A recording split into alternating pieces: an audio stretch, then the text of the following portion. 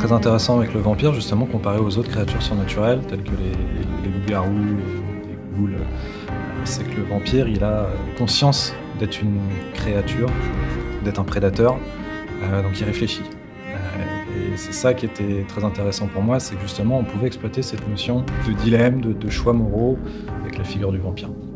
Donc Jonathan, lui, c'est un, médecin brillant qui fait beaucoup de recherches sur la transfusion euh, du sang, et donc c'est quand il revient à la fin de la guerre dans son pays d'origine, donc en Angleterre, qui se fait mystérieusement transformer en vampire par un inconnu. Mais c'est pas évidemment qu'il devient vampire. C'est peut-être très intéressant pour nous d'amener un personnage qui, euh, qui est persuadé que la science doit pouvoir tout expliquer un jour et qui tout à coup devient euh, une créature surnaturelle qui doit euh, se confronter à l'idée que finalement les ténèbres existent, le surnaturel existe, et il doit revoir l'ensemble de son rapport au monde.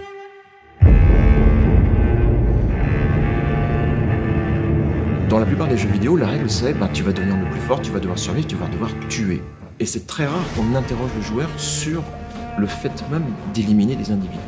Nous, ce qui nous intéressait, c'était de mettre le joueur au cœur de cette dualité, de lui dire tu es un prédateur. Tu vas rencontrer des gens qui vont t'exposer leurs problèmes, leur vie, leurs amis, leurs inquiétudes, leurs soucis.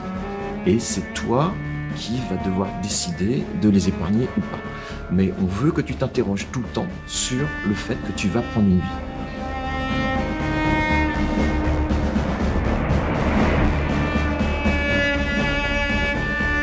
Eux-mêmes, les vampires ne s'appellent pas vampires entre eux.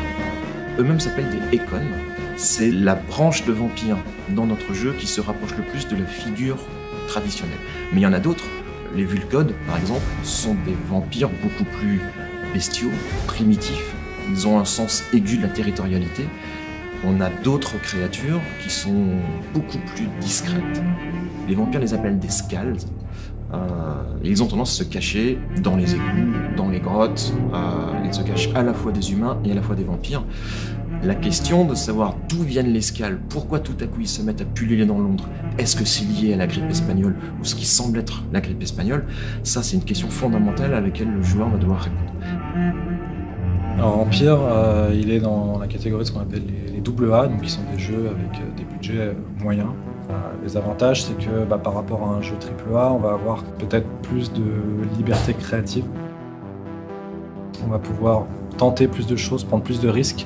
Et ça, c'est quelque chose de très important à Donc, On veut que chacun de nos jeux se différencie par leur atmosphère, par leur mécanique de jeu, et créer une identité qui est vraiment unique.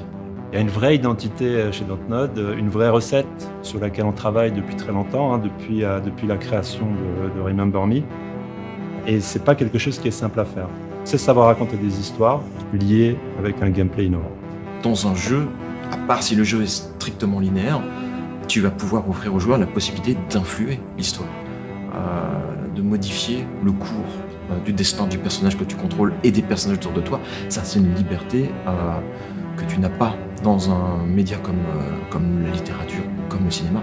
Ça, c'est fascinant de mettre le joueur en situation de dessiner.